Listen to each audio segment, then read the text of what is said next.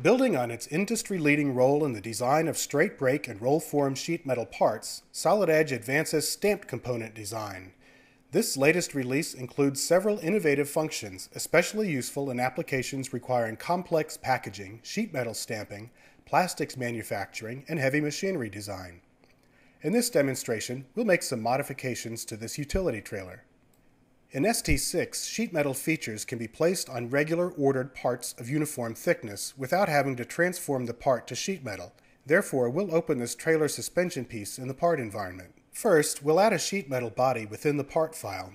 This body is now active and we're placed in the sheet metal environment. Then we'll create a tab based on the bottom of the existing body.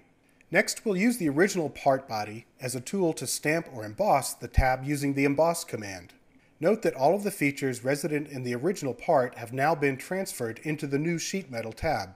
We can see that a minor interference exists between this suspension piece and the mounting bracket, so we'll quickly clean that up. Deformed features spanning bends are common in stamped metal component design. Solid Edge ST6 facilitates creation of beads, dimples, drawn cutouts, and louvers across bends. Here, we'll add a bead to one of the frame rail supports while remaining in the assembly environment. First, we'll unbend the support, then place the beads across both bends, fast and efficient. Once we rebend the support and turn on the rest of the assembly, notice that the beads are placed on all similar supports across the trailer assembly.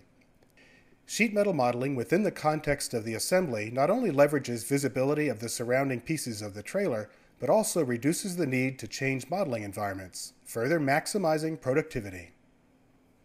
Now we'll turn our attention to the wheel fender. This was constructed as a thin-walled part, but we can add sheet metal features. Here, we'll place a contour flange along the lower inside edge of the fender. We'll finish off the fender design with a flange along the inside of the wheel housing.